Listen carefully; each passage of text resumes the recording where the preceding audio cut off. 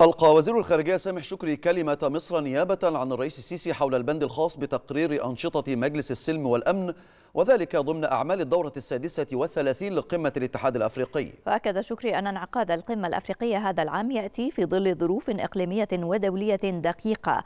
تتطلب التعاون لمواجهة التحديات الأمنية القادمة لا سيما مع تزايد درجة تعقيدها بما يتطلب أساليب أكثر فاعلية للتعامل معها. وأبرز شكري أولويات العمل الأفريقي المشترك لضمان توفير السلم والأمن لدول القارة.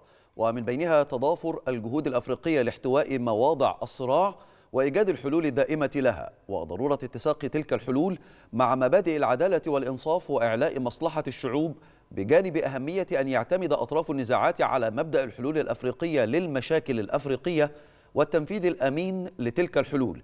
وتناول بيان مصر الأوضاع في السودان وذلك على ضوء ما تحققه من تقدم نحو إعادة الاستقرار والانتهاء من المرحلة الانتقالية. وذلك بجانب الحاجة لتوفير الدعم اللازم للأشقاء في ليبيا نحو عقد الانتخابات البرلمانية والرئاسية تحت مظلة سلطة تنفيذية محايدة بما يعيد لليبيا سيادتها واستقرارها.